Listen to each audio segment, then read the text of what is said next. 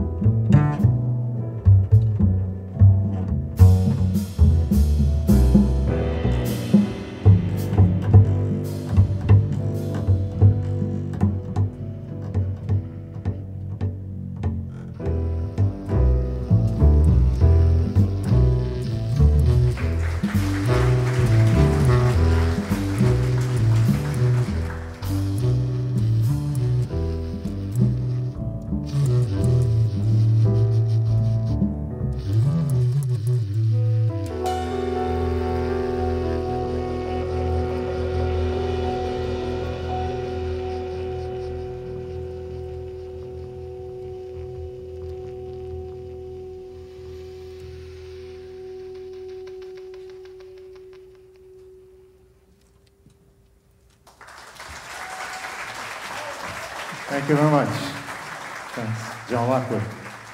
Thanks for coming.